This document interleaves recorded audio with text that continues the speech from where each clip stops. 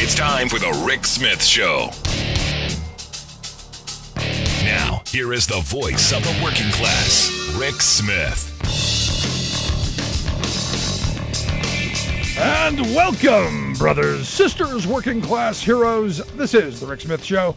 Thanks so much for being here today on the big program. Lots to get to, lots to talk about. What a week it has been. The Supreme Court wanting to repeal the 20th century, uh, roads buckling from the heat, the Select Committee on January 6th, the fun around that. So, so much Wingnut Week in Review to get to, and here to share some thoughts on the week that was. I've asked our all star panel to come talk with us.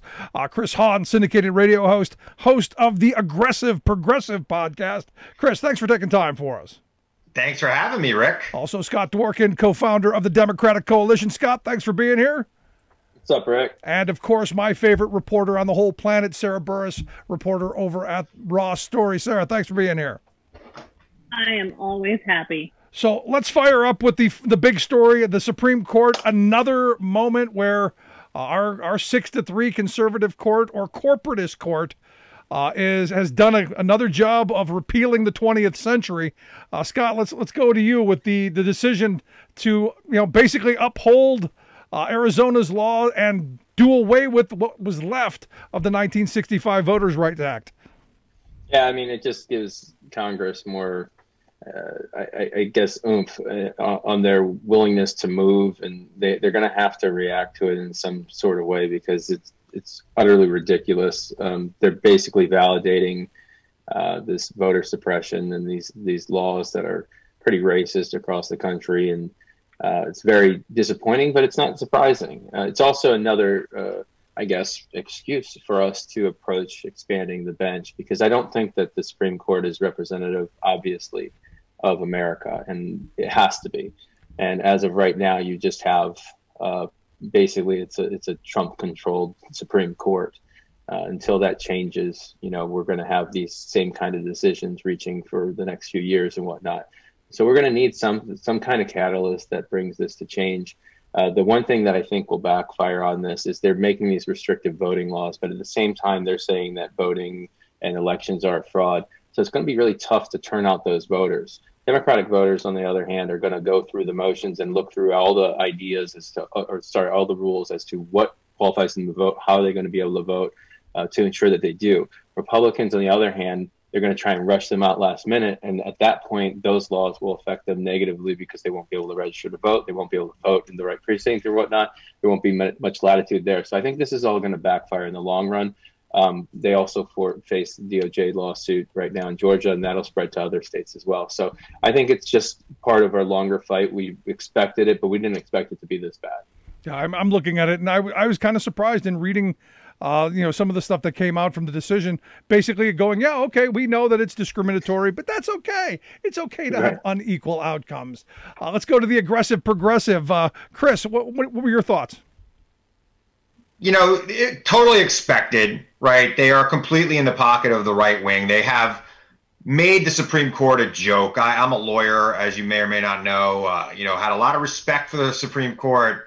Uh, going through law school, reading these opinions of these people on both sides of the aisle making decisions in the best interest of this country over the last two centuries, and to see what they've done to voting rights in the last 10 years, it, it just makes me and everybody else who studied the law and believes in law and order and justice and the access to the ballot makes us sad, but it also makes us angry. And frankly, you know, I, I, agree with what Scott said. I think it is a catalyst to make Democrats move on voting reforms in the Senate and in the House. I don't think that Joe Manchin wants his career's epitaph to be he's the guy that oversaw the undoing of the American democratic experiment. Ex, exper, experiment. I think he wants to find a way to get in there and actually make this happen. He's floated the idea of the John Lewis Voting Rights Act. Stacey Abrams has endorsed that. Uh, I think you're going to see some changes to the filibuster, and I, I, think that there'll be people that will go along with it that you will be that will be unexpected to you, so that we can see people vote in this country free and clear of it. And like Scott said, Democrats are going to come out and vote, and Republicans are going to be turned off by this voting's a fraud thing. But here's the thing: I can organize around, uh, you know, where people vote, what ID they need to have, what other restrictions it is for register, et cetera, the days, the times. I can't organize around I can change the outcome if I don't like it. And the question I have for the Supreme Court is when that gets to them, and it will, uh, where will they stand on that? You know, it's one thing to say a state can say, I'm going to choose the time and place and manner for people to vote. It's another thing for a state to say, I'm going to allow a partisan legislature choose the winner of an election. That is not American. That is not democracy. And that cannot stand. And if this court or any other court for that matter upholds those types of laws, you're going to see people in the streets like you've never seen before. And quite frankly, I'm not one to march, but I'm going to march for that. No, I mean, I see as where I am. I think all of this comes back to, uh, you know, we haven't done enough marching. We haven't done enough, uh, you know, rattling the, the cages, so to speak. Uh, and they feel they can get away with this stuff. Sarah, wanted to get your initial thoughts on it. Yeah, it is long past time to take to the streets. Very long past time.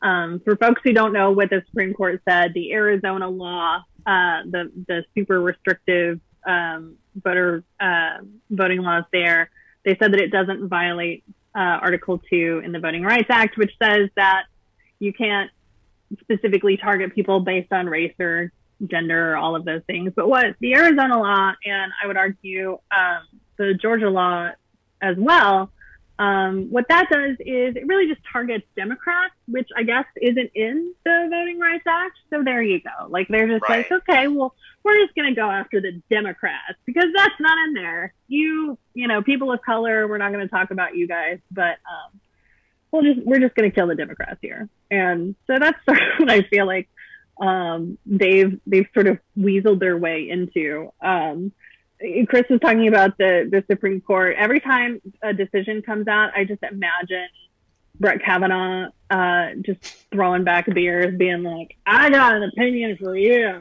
you know. um, so I there's it, it, makes me sad because I too uh, held them in such high esteem, and now they're just kind of schmucky. They're it's very sad. No, I mean, and what what's bothering me, and Chris, you, maybe you can speak to this. I mean, we're seeing decisions coming out of this court that basically is repealing the 20th century. I mean, you go back to the Janus decision, which is something that I think was a, was a horrible decision, uh, basically undoing you know a good portion of what built the most prosperous working class in the history of civilization. All of the advancements that we had, the progress that we had of the 20th century, it seems this court wants to roll back. We're going to bring back the Alabama voting test. We're going to bring back the days of Lochner. We're going to bring back yeah. all of the all of the bad old days. You know, and and it seems like like from where I'm sitting, there's almost nothing that we can do to stop them from doing it other than vote and get out in the streets. That is the only thing we can do. The only thing we can do is win elections, right? And the problem that Democrats have had over the years, been one of my big frustrations, is that we come out for the presidential year and we sit out the midterms, and more importantly, we sit out local elections uh, in the midterm midterms it, you know, we have to be on guard all the time. The Republicans have been building up benches. They've been electing people to school boards and dog catcher and mayors and city councils. And Democrats just wait for the presidential year and show up sometimes if they like the guy, if the person, you know, uh, makes them fall in love. Dem- Democrats, they have to fall in love. Republicans have to fall in line. This is a battle and it is a battle that the Republicans came with a gun and Democrats came with like a, a flashlight to try to look who is there. Slinky. We need to make sure that we are fighting every step of the way for every seat ever that is on the ballot. We've got to come out, we've got to organize, and we've got to be ready. Because look, courts have made bad decisions in the past in this country. There's lots of them. We could go we could go through the history of this country. There's there's there's dozens of infamous decisions by the Supreme Court that were overturned by the voters through Congress, through through uh, constitutional amendments, and through new court members being appointed because Democrats or other progressives, when Republicans were progressive, kept winning elections and putting new people on the court. We need to have a court that understands that the right to vote doesn't necessarily mean you're just allowed to vote. The right to vote means that working people who have to work during the day have an ability to vote when it's convenient for them, that they can vote and it shouldn't have to take eight hours to vote. I think we need a law in this country that says it's got to be faster than getting Domino's, right? 30 minutes or less to, to cast your ballot. This should not take all day. I live in New York State. Uh, I have never waited more than 15 minutes to vote. I, you know, I, I, I see these lines and I just wonder. I, I am I'm amazed at the organization to get people to wait in those lines. I won't wait in line for anything. I won't wait in line for ice cream, and I love ice cream. So I'm amazed at the organization that has gone into it. But I'm telling you, when you tell a group of people that they can't vote, that makes them vote more, makes them more likely to vote, makes them enthusiastic about voting and makes them get other people to vote with them. I hope you're right, Sarah. You know, I look at this and on his point, I've never waited more than 15 minutes, uh, but that's because I'm in a predominantly red area. I'm in a 65-35 Republican, you know, insane, crazy old. Uh, but I've never waited longer than 15 minutes, and like him, I can't imagine standing in line for eight hours uh, to vote. When, uh, whenever I was in college, um, 2004, we ended up having to stand in line for probably, I want to say maybe two hours. Um, they uh, they had cut a bunch of the uh, the polling places for on campus people or near campus people, um, but you know Northwest Oklahoma City, I've never had to wait you know long at all. Um, I just started voting by mail though, uh, because first of all, you know, like I don't one, I don't want to stand in line, but but secondly, um, why why not? Why not just throw it in there and be like and be done with it early on? Because we don't want people um, voting, Sarah. We don't want people voting. Uh, what was that pay, that Paul Weyrich quote? We don't want everyone to vote. You know, our leverage goes up as the voting populace goes down. Right. Yeah, and that's how Republicans operate uh, you know, the more people that vote, the more Democrats win, and the fewer people that vote, the more Republicans win. And they made it very clear, like they have said the quiet they, part out They loud can't compete. That. They can't compete with ideas. No. They don't have any. They don't have any ideas. Even the people who support them don't like their ideas. They like our ideas until we tell them who came up with the idea. Right. Right. They don't have. Republicans don't have ideas anymore. They they have slogans and they have racism and they have fear that person who's going to take your job, even though, you know, look, if everybody was into capitalism like Republicans say they were, people would compete for their job. They would work harder. They would change their profession. They would they would educate themselves to change with the times. We wouldn't have to be so protectionist in the way we do things in this country. But they don't have ideas to get people to vote. So the only way they maintain maintain their minority rule in this country is by changing the election map and by making it harder for people to vote in states like Georgia and Texas where they are losing now. They are they've been losing ground every year. They're about to lose Texas. Trust me, that scares them to death. That's why all these governors around the country are buying into this Texas, you know, border fiasco that Greg Abbott's trying to utilize to distract Texans from his mm-hmm. failure to lead Texas through crises, whether it be the winter where, you know, they got two inches of snow and and hundreds of people died and didn't have power, or now, oh, it's hot in the summer. The grid wasn't prepared for cold in the in the in the winter or hot in the summer. Way to go, Texas government. Way to go, 30 years of Republican only rule. You want to know why they got people at the border right now? They don't want you thinking about the fact that your air conditioner is broken and that Texas can go blue. And once Texas goes blue, it's all over in this country. Well, that that is kind of the hope, right? The hope is, is uh, you know, Texas does wake up and and we move this country in a different direction. Scott, I want you to jump in on this because you know uh, he makes an interesting point. Republicans haven't had any ideas for a very long time, and the ideas that they did have were bad and got us into the mess that we're in. But they do know how to scare people. They do know how to throw out a boogeyman. They do know how to scare, make people afraid of of things that they don't even understand right, Mr. Potato Head and things like that. The the uh, I think one of the things that happened with the Democrats uh, since they became in leadership now, and it's completely changed the dynamic with everything. One of the things I've been doing is I've been talking more behind the scenes and not vocally uh, as much about criticizing Democrats or what we need to do or talking leadership as much publicly uh, and I think that's starting to spill over now because we gave them the opportunity to lead and some have not. Uh, and I think that we're going to hold them accountable, the ones that have not. Um, the ones that, uh, so, so, so I, I, think we've been getting vaccinated. We had the attack on the Capitol to deal with. We impeached the former president again. We had Biden Harris administration come in, and that took a while to, to get in here. Um, and so we, we just kind of demasked. We just are getting back into a society point of uh, some sort of stability with at least half of the country. Um, so, you know, we had that opportunity to lead. I think the uh, what, what Chris is talking about about us going to the streets and whatnot. I think that time is coming. I'm not sure exactly what's going to be the first thing to spark it, but I think people are back to a comfortable feel about that and and everyone seems to be antsy but also that means that we have energy returning to us because I, I i don't know about anybody else but after five years of every single day 18 to 20 hour work days a constant barrage of all this nonsense and propaganda mm. i had to sit there and uh, decompress for a second and and figure out you know how do we move from this position of us you know being outraged at a constant and come up with the ideas of like okay how do we implement how do we turn this into law how do we move the needle on this or that um, and, and it just was so complex and we had no time to plan before this so you know we had remember we also had the georgia elections we had to fight on january 6th for people to stop overturning elections we had yeah. to get gotcha videos of senators across the country um, we were tracking them down i mean it, it's it really is I think we get we don't give ourselves enough credit for how much work that we've done and how much we've done to save this country as of right now. And and I think that it will. We've got the momentum or momentum. People hate that word, uh-huh. but we've got we've got the momentum to to use here.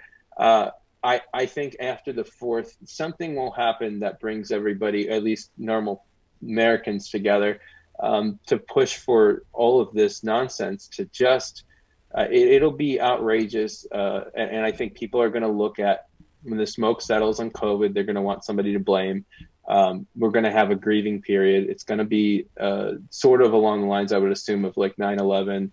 Um, we're, we're going to have to deal with that at some point. We're going to have to deal with January 6th. There's going to be constant court cases. You have the indictments of, we'll talk about that later. But um, long story short, Democrats haven't really had that chance to lead and we haven't pushed them enough publicly to be like, here's what we need to do. But I'll, I'll tell you what, I did have conversations with the original plans that they had in regards to investigating January 6th, and I lost my mind privately. And I, I said this needs to be a select committee. Period. Yep. Um, and it should have been done on the so, on the on the 21st, uh, the day after they took power. Now, don't give them an opportunity to play these games. Just move straight into a Benghazi like select committee. Yeah.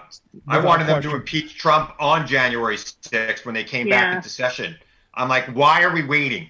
We know what happened here. We all saw it. Get a vote right now. Let's see how people feel right now yep. while they're hot. Because people were hot that night. You might have even got Kevin McCarthy to vote to impeach Trump that That's night. True. I don't know why they didn't just come while they were hiding under a desk they should have been drafting articles of impeachment. I'm it was right ridiculous. Got to take a quick break right here, guys. Stick around through the break. On the other side, we're going to get into, uh, boy, it's it's kind of hot outside, uh, and some of the things going on around there. Quick break, right back after this. Stick around. You're listening to the Rick Smith Show.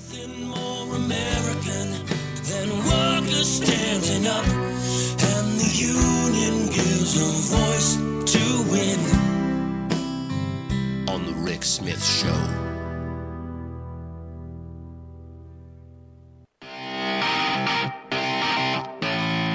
Welcome back to the Rick Smith Show. Now, here is Rick Smith. So I'm sure everyone saw the pictures of the street buckling, uh, the, uh, the, cables melting. Uh, we've heard all the stories of people dying, and yet still Congress hasn't done much to move forward on an infrastructure plan because at the end of the day, uh, this does come back to our infrastructure when you're talking about major cities in the U.S. having rolling blackouts. And it's infuriating to me that we're still talking about infrastructure and not getting stuff done. Here to share some thoughts on, well, the state of where we are and maybe where we need to go. I've asked our all star panel to stick around Chris Hahn, the syndicated radio host and host of the Aggressive Progressive podcast, Scott Dworkin, co host of Democratic Coalition, and of course, our great friend Sarah Burris, reporter over at Raw Story guys. Thanks for sticking around. Anytime. You bet. So uh, we we've all seen these stories. Let's start with you, Sarah. We've all seen these stories of uh, you know the heat, the the the misery, um, yet still nothing out of Congress being done.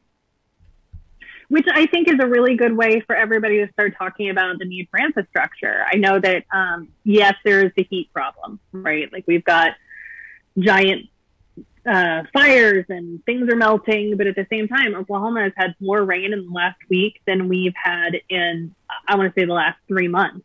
So we're dealing with an enormous amount of overspill in our dam system. So, I mean, Oklahoma never had a, a, a lake that was in it until the Army Corps of Engineers came in, and every single lake in the state of Oklahoma has been created by the Army Corps of Engineers thanks to the New Deal. So you've got um, all of these dams and all these spillways that are now finally, you know, like doing what they should be, and um, you got farmers who can't cut wheat right now because of that. Um, so thank goodness for all of these things that we have because of the New Deal, and that's why we need another one of these things. You've got cities that have um, because people throw away those handy wipe things in the toilet um, and they pour grease down the down the sewers you end up having these massive um, glaciers of hardened just stuff in our sewer system where they actually have to take pickaxes at them and try and break them apart. Um, and so like our sewers end up being clogged because of stupid crap uh, not literal crap just stupid crap. Um, so there we have lots of problems. This is not just a um, Texas heat issue or a melting um, roads issue. Um, this is this is everything from water to sewers to um, drainage to dams, everything. Um, and and we haven't touched them for a hundred years now.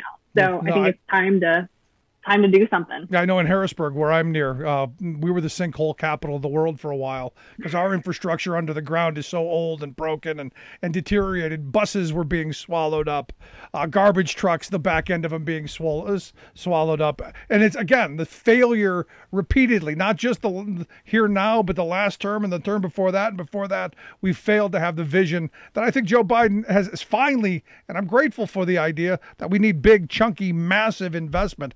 Scott, I want to get your thoughts. Is, I want to say too, like sure. there, every single state in the country, every city in the country has a problem. If we can just start talking about those problems to the actual senator, to the member of Congress, and saying, you know, like you should vote for this because it will fix this thing in your district. That's the stuff that really turns a, uh, a light bulb on for them. Scott, yeah, your thoughts. Yeah. I lived in D.C. for years and years, and I don't know if they've ever patch the roads. It's one of the worst, you know, I guess uh, I just just traveling around here on the roads is pretty pretty terrible. Um, for a lot of different reasons, using sand for ice and uh, then putting salt on top of it because the sand doesn't work, and then that makes a mesh of nonsense. Um, but yeah, I mean, like what I didn't understand is how you know republicans didn't even grasp the basics of infrastructure and what it is nowadays. And you're talking about moving things back right rick? Uh, i mean they didn't want to include the internet as part of our infrastructure. It, it didn't make any sense. They didn't want to right. include the power grid. They wanted to just be you know go to this coal and people just breaking marble over like I, I don't know what they're thinking but that's just not how the world works. And we're not a third world country so can we not act like it?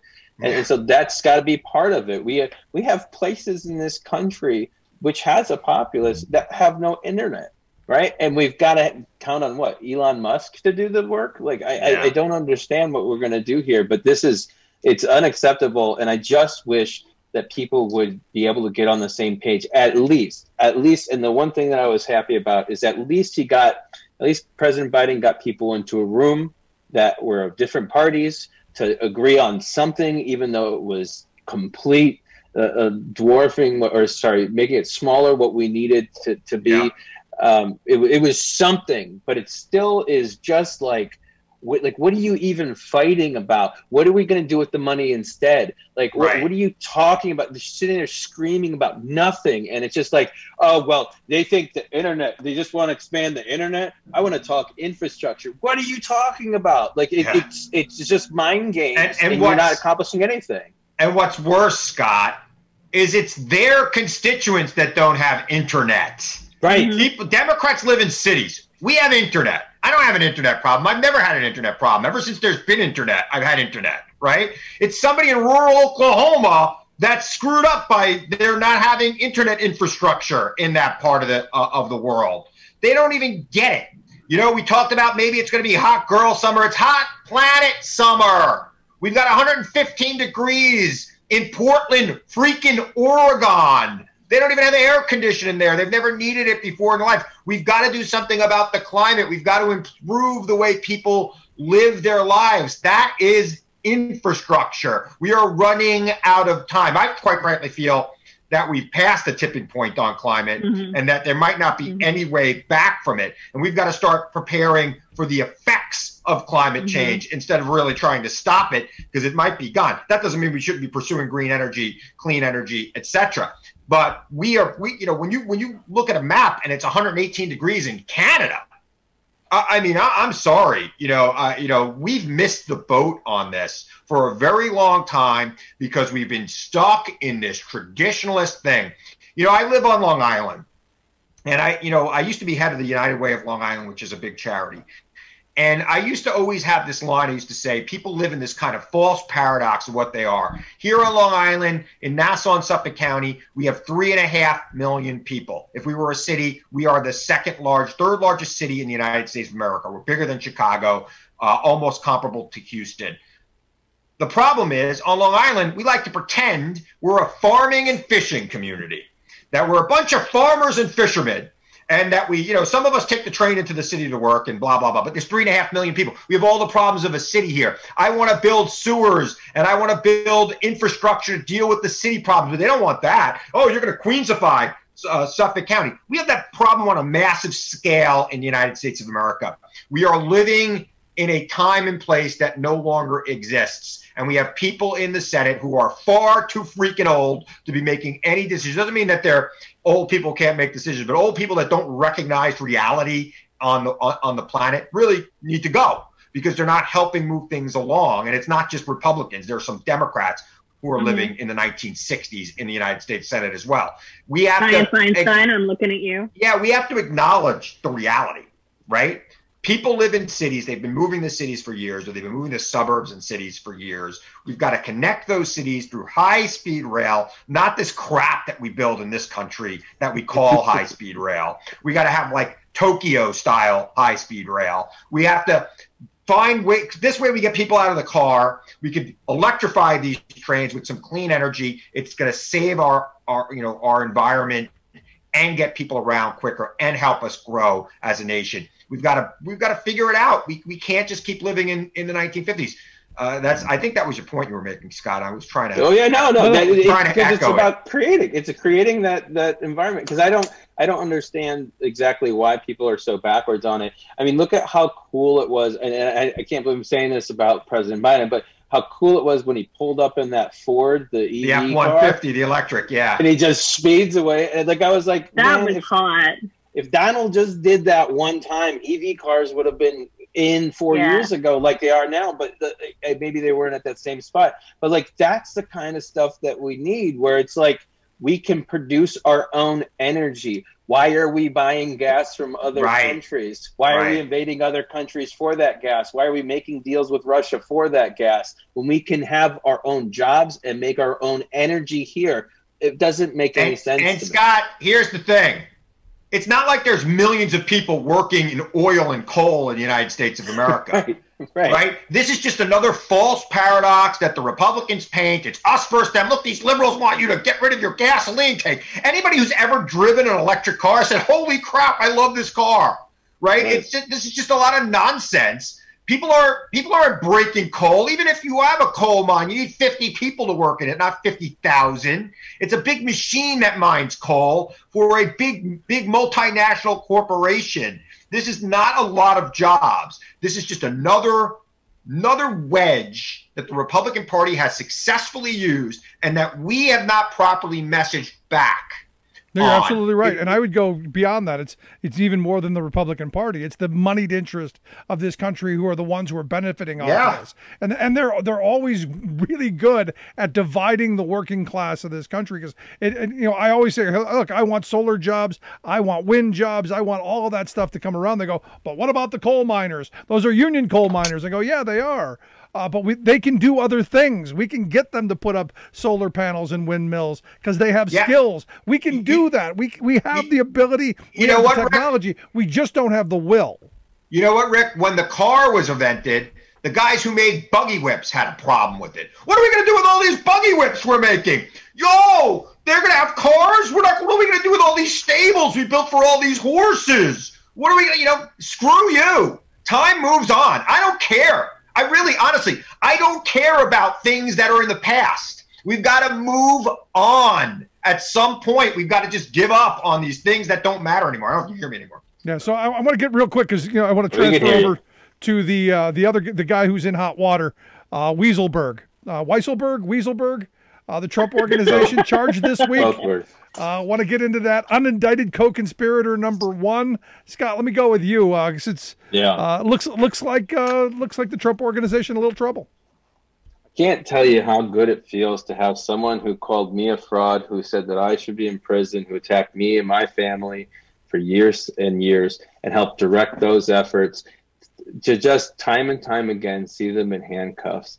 Um, and it's not just that, but because of this fraud, it's leveraged to get to the uh, former president of the United States. And I like to call him that when it involves crimes because uh, I want to remind people where he was uh, yeah. for so long. I mean, we're, we're, we're definitely, we're on a road right now. I don't think people understand the gravity of what's happened here. They would not indict Weisselberg unless it was an open and shut case where it was clear. And it is really, really hard, as Chris can probably attest, to beat a document case. Like this is a document based case. And so I, it's not as much about how he was feeling or what he was thinking during it. It's you're an accountant, you did this, this is illegal, and you did it for years and you kept it off the books on purpose. And, you know, not only that, I'm guessing this opens doors to the rest of everything else. And so I don't think that, I think that they can play it down all they want. Um, but this is absolutely devastating to him. And I, I just don't see how he can come out from underneath it. The most important part of this all is it's the first one to indict really outside of his presidency. Yeah. And I think that people are going to pile on because where I get a phone call from today was Georgia. And so all I've got to say is that I hear a lot of things happening right now from uh, different states that look to suing him because he uh, owes them money for rallies or destruction or, or, a property or something that he's done along with that. Um, and so, and old property developers that want to sue him for money. I mean, there's so much stuff coming at him on top of E. Jean Carroll's lawsuit. Um, there, it's just too much discovery. It's too much money. Uh, I, I think that Republicans are going to drop him and act like they never saw him before, they never met him before, but I, I, they'll just move to another idol. So it'll be Ron know, DeSantis man. or somebody. I, look, yeah, I, I hope you're right. I hope you're right, but I'm not getting my hopes up. Uh, I'm not getting my hopes up on these cases coming out of New York. I know there'll be more indictments coming down.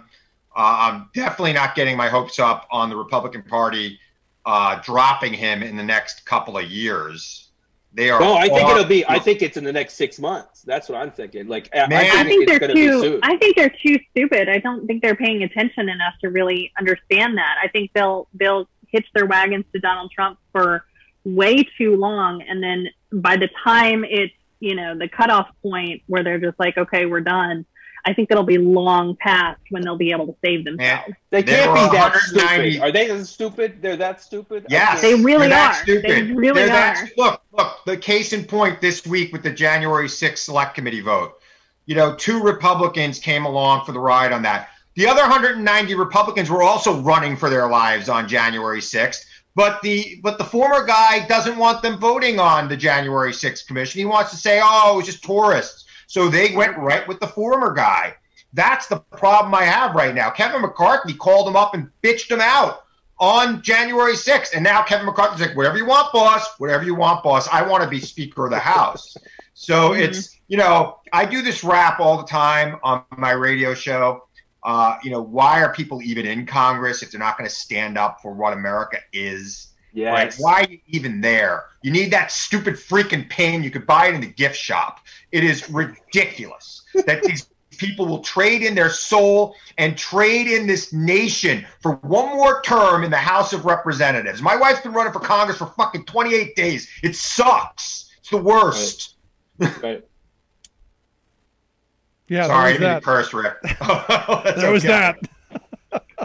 Uh, but you know, I got to be honest. You know, I watched you know Trump's lawyers go on and on, and it was one of those things that made me question the existence of God because you know why weren't they struck down by lightning with all of the all the lies and stuff that came out of their mouth? That's what that's lawyers are it works. supposed to do. Bless their hearts. Yeah. Lawyer, look, I never get mad at lawyers for defending somebody. That's what lawyers are there for. I'm a lawyer. Everybody has a right to a defense, no matter how guilty they are. Uh, and we, we have a system that's an adversarial system for a reason because we used to think it was better for 100 guilty people to go free than for one innocent person to go to jail. I think we've forgotten that in this country. I don't know. I think we just saw it this week with Bill Cosby. Yeah, we Oh. did. God. Well, Had to go there, didn't I? Yeah. No, no. I mean, it, it, it, that's somebody who belongs in prison. That's somebody who should never be free. That's the, the disgrace, and and I'm. It sucks that somebody. Uh, I guess I, I my understanding, Chris. I, I don't I, I don't know if or Sarah if you know, uh, but apparently on the back end, like there was a Mhm. scheme to try and have a gotcha moment so they could prosecute, and that's how they prosecuted him. So it's They, like I don't understand why they have to go that route when you have 90 win. Like it, it he made a didn't make any deal sense. with he made a You deal need with to the deal with the prosecutor. prosecutor. he made a deal with the prosecutor that statements he made in a prior uh, trial would not be used in the in, in any other trials, and then they use those statements in a trial. Mhm. I look, he should be in jail for sure. He's a guilty man, but you can't do that. You can't be a prosecutor and and and tell a defendant that no, don't worry, you can talk freely here. We won't use this against Right. you, Right. and then use it against them. As bad as this guy is. Yeah. I'm So, and it- by the way, and the guy who did that deal was one of Trump's uh, impeachment, Impeachment lawyers. attorneys, the former uh, the prosecutor. I'm dropping his name from Casper. Philadelphia. Castor. Bruce Yeah. Castor. So I mean, Bruce, there's a special place in hell for Bruce Castor, right? Uh, he he doesn't get another strike from me. He defended Trump. He screwed up the Co- Cosby prosecution. This is a guy. God, There you go. Let's take a quick break. Right back after this with our all-star panel: uh, Chris Hahn, uh, Scott Dworkin, and Sarah Burris. Right back after this. Stick around. You're listening to the Rick Smith Show. We're working people. Got to talk. Remembering that united we bargain, divided we beg. Rick Smith.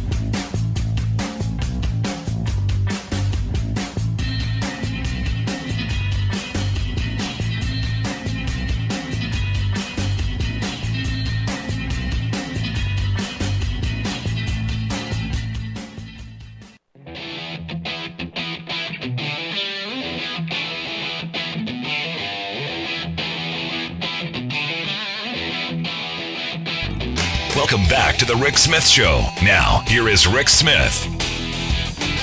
So a little fun down at the border because you know why not? Why not have one of the people who is at the January sixth insurrection, uh, this YouTube guy uh, Anthony Aguero? Uh, why not be there with you know Marjorie Taylor Greene and uh, who's the other the idiot from uh, Colorado, Lauren Boebert? Uh, that Madison Cawthorn was there, and a whole bunch of these conservatives running down to, to get a little time at the border because, hey, why not? It's not like we got any real problems going on in the country. I'm here to share some thoughts on, well, the our traders going to the border, and now this select committee uh, that is finally, finally, after all these months, maybe going to start doing some work.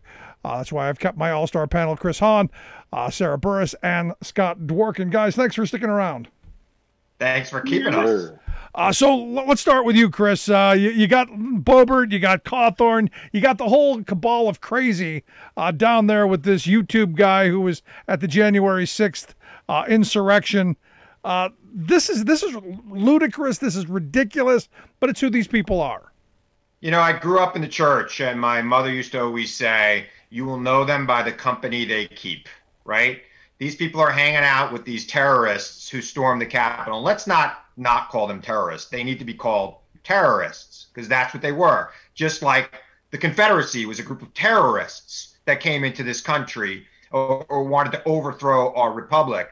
As for their trips to the border, their little fantasy island trips, here's the problem they cannot attack Joe Biden. They're not laying a glove on him. You know why?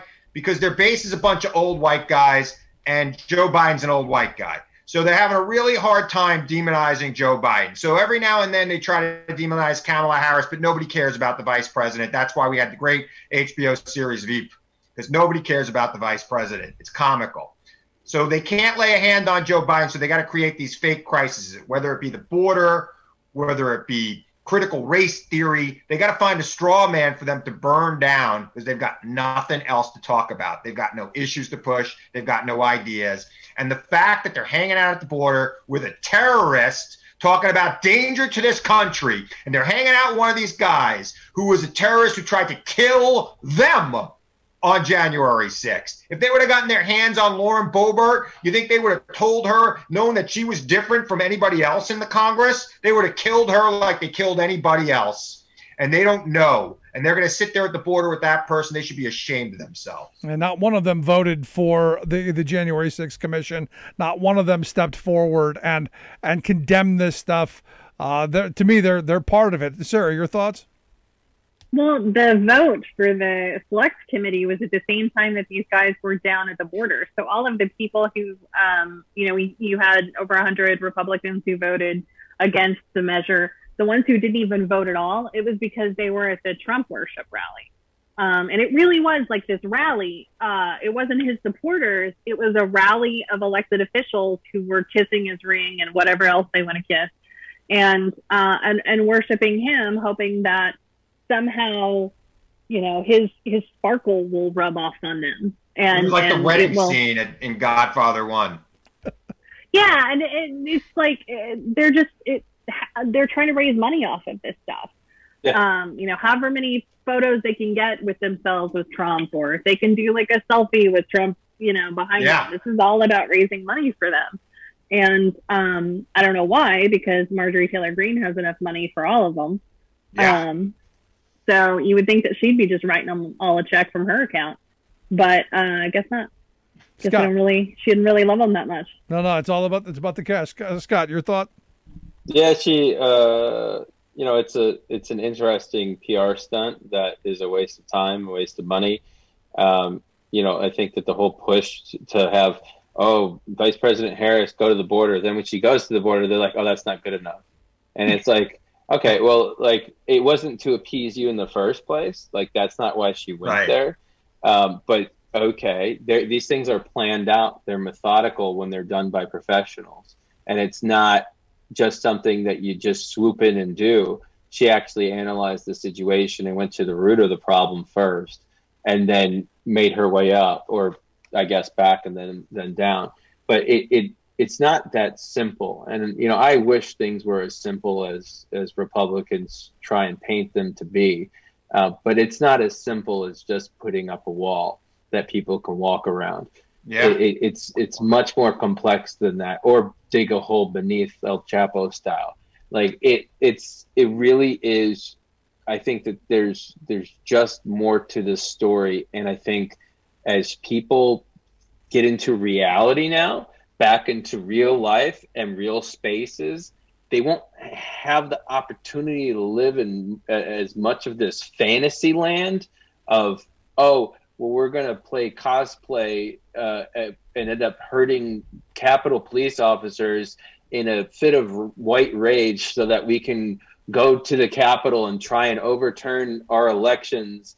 this is going to go down in history that anyone who touched it. I mean, think of I, I don't know how to compare it to anything else except for how Nazis should be treated in society today. Yeah. That is how seditionists should be treated after this. And anyone who supported it in any way, financially helped organize it, anybody who invited people there, they should all be disavowed from our society and, and we be better to speak publicly ever again. We better.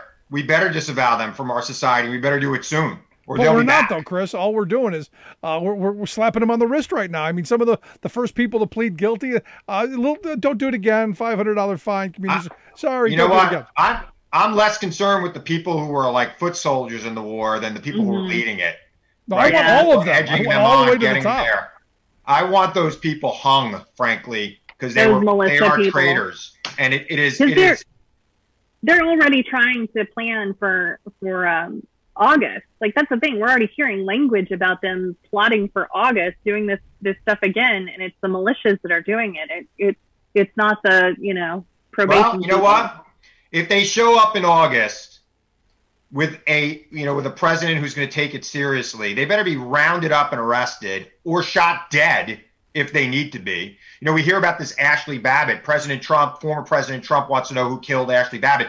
Donald Trump killed Ashley Babbitt, and mm-hmm. Ashley Babbitt killed herself because she was a terrorist who was inspired by a terrorist leader, Donald Trump, who doesn't believe in American values. And I, you know, if they show up in August, uh, our National Guard better be ready, and our Capitol better be well protected, and they better be meeting a fate like any other country that's ever stood toe to toe with the United States Army, and they will, and they will, I believe. So you know, it'll be a bad day for America, but uh, maybe it'll end this. Yeah. Now you, there's jump- a lot of barriers. Sorry.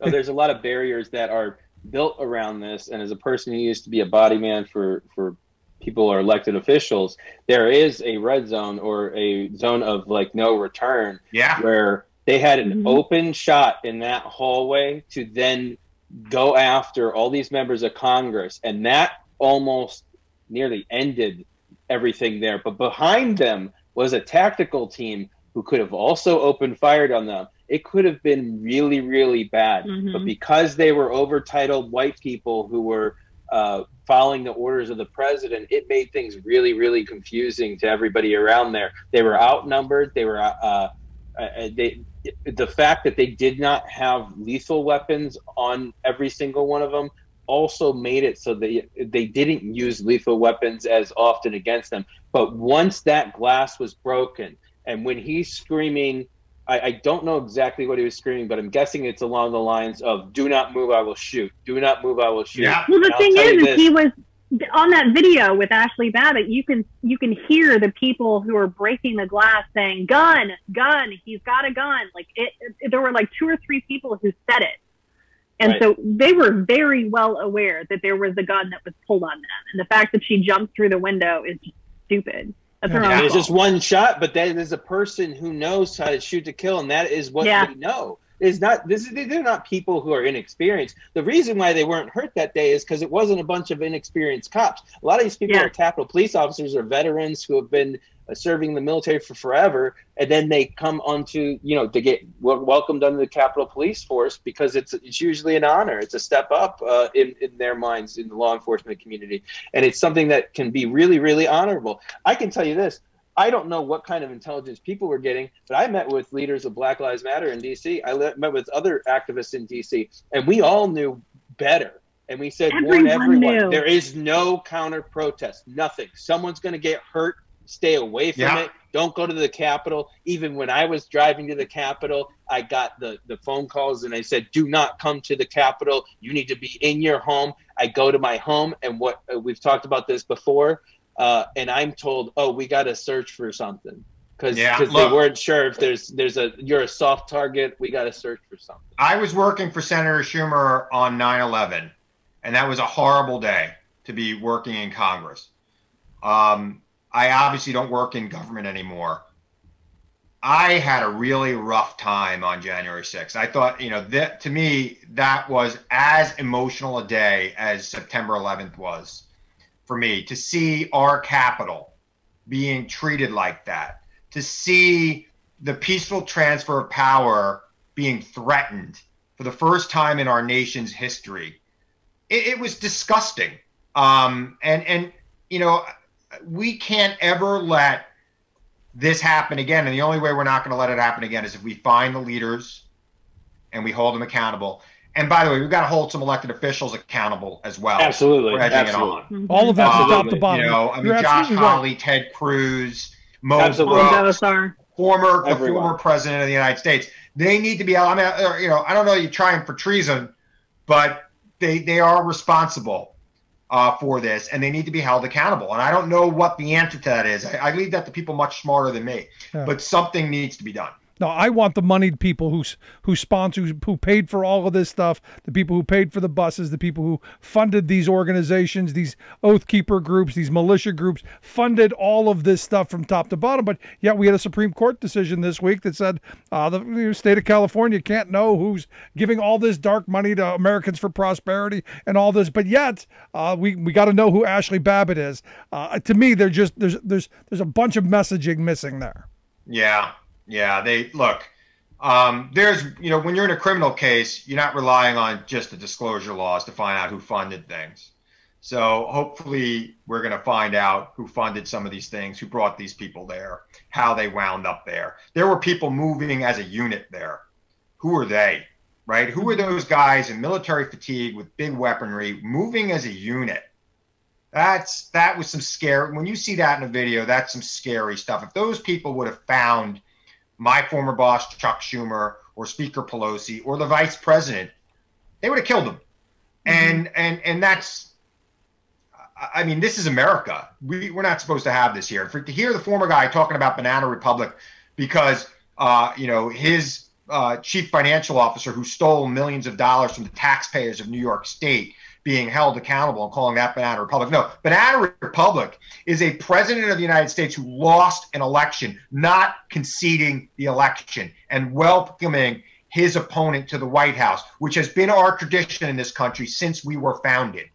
Uh, that, to me, is Banana Republic stuff. That man should not be allowed within 100 miles of the White House. Uh, you know, and, and yet he's the likely Republican nominee in 2024. No, you're right. It, it sickens you talk about the formations. You know, I live not more than a mile away from a free gun range here in central Pennsylvania, where you see these these groups. They come together, they practice their shooting. They're they're working in formation. This stuff is not in the secret. This stuff is out front. And you know, I know a couple people will be happy to tell you they want August to, to happen. They want uh, some kind of, of violence and problems, and they want to reinstall the the former guy.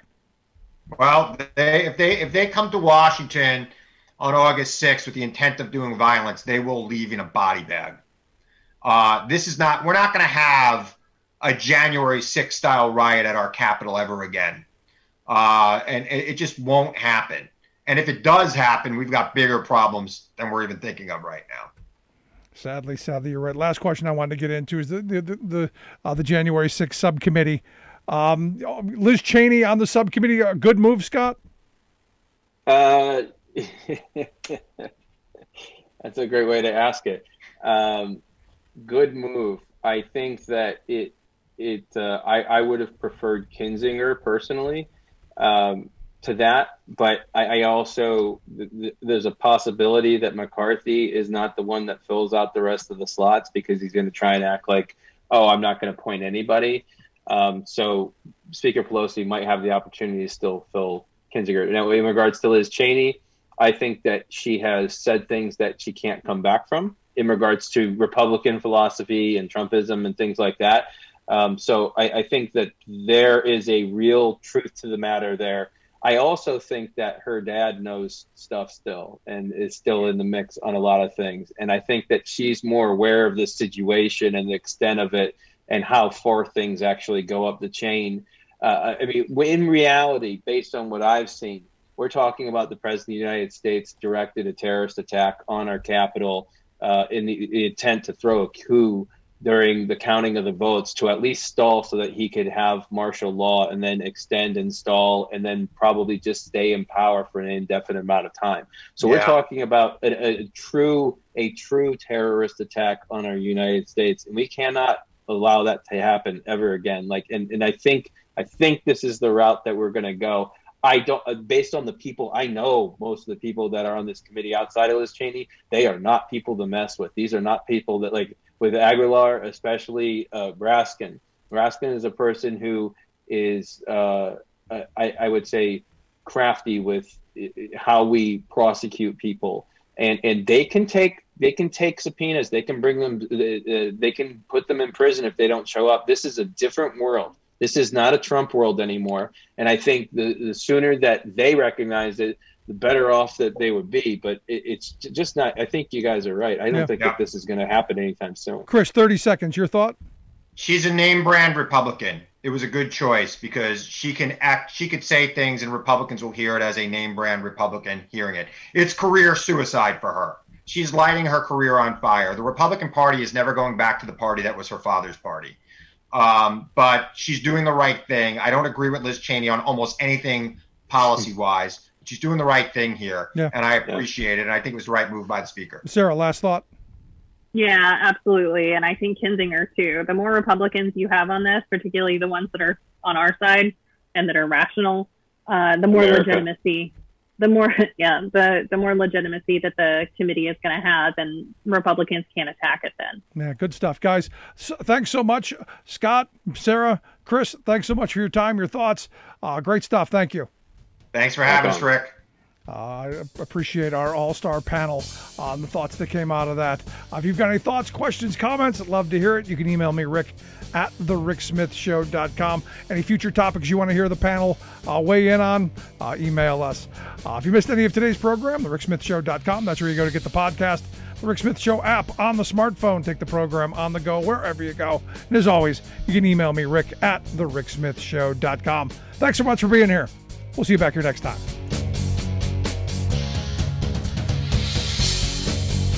You've been listening to The Rick Smith Show.